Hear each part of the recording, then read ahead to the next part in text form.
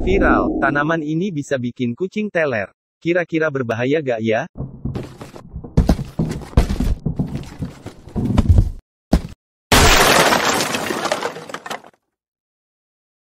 Halo dan selamat datang kembali di Kucing Moleo.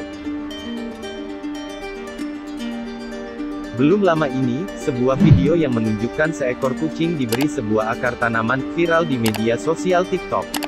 Disebutkan setelah diberi tanaman itu, terutama akarnya, bisa menyebabkan kucing sakau. Sakau adalah kondisi seperti seorang pemakai narkoba yang sedang mengalami ketagihan.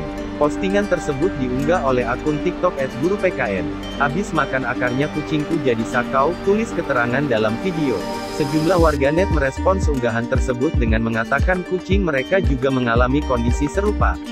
Iya bener kak, bikin kucing suka banget, tulis @danyardiansyah08 dalam caption video yang ia unggah. Hingga kini postingan tersebut telah disukai lebih dari 34.800.000 pengguna. Beragam komentar muncul terkait hal tersebut. Iya kucing saya juga kalau makan ini ampe ilernya ke mana-kemana. Terus gloser-gloseran di ubin deh, tulis akun dengan nama Ade Triana. Kucing-ucing kujege ketagihan tanaman itu, sampai habis di depan rem, tulis akun Akeong 9 Bekaksich 54 Enjik 99012.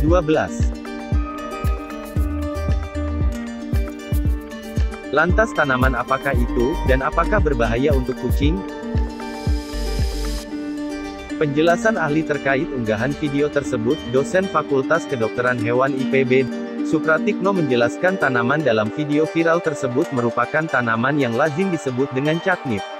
Tanaman tersebut juga memiliki sejumlah nama lain yakni akar kucing, anting-anting, kucing galak, dan catmin. Akar tanaman ini mengandung sejenis minyak aksirinepetalaktan yang mampu tercium oleh kucing, ujar Supratikno dilansir dari kompas.com. Kucing bisa mencium aroma tersebut karena kucing memiliki organ vomeronasal berupa pipa yang terbuka di langit-langit mulutnya.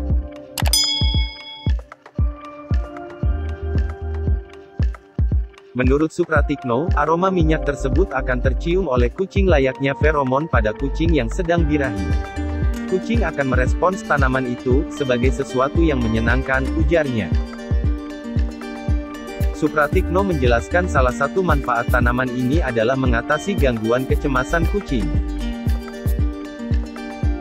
Ia mengatakan beberapa dokter hewan sering memakai tanaman akar kucing atau anting-anting ini untuk mengatasi gangguan kecemasan pada kucing seperti akibat pisah rumah atau diadopsi oleh pemilik yang berbeda.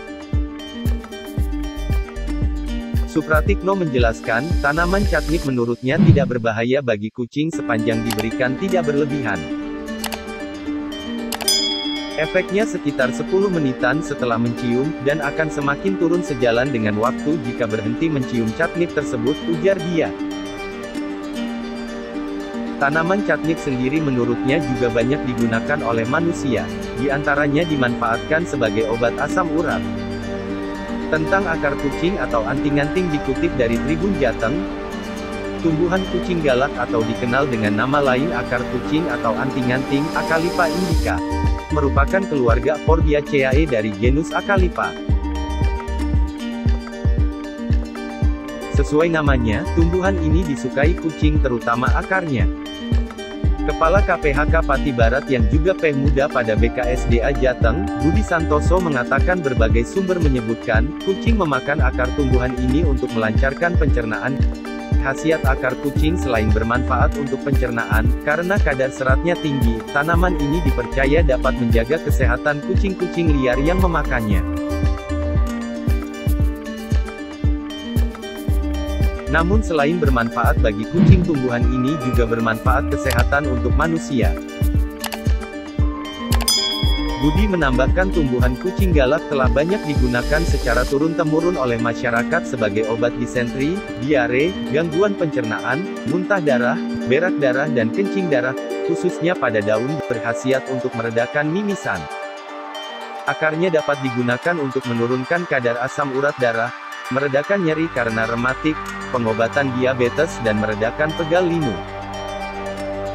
Meski rasanya pahit, Tumbuhan kucing galak menurut Handayani, memiliki efek farmakologi yaitu sebagai anti radang, antibiotik, astrien, dan peluru seni karena memiliki senyawa yang terkandung dalam daunnya yaitu aleron, steroid, alkaloid, saponin dan flavonoid. Jadi sudah tahu ya jenis tanaman yang sempat viral menjadi perbincangan di jagat maya. Lalu, teman-teman kucing moleo apakah sudah pernah mencoba berikan tanaman ini? Ingat, jangan berlebihan ya, sesuaikan dengan porsinya agar bisa mendapatkan manfaat dan tidak menimbulkan masalah baru bagi kucingmu.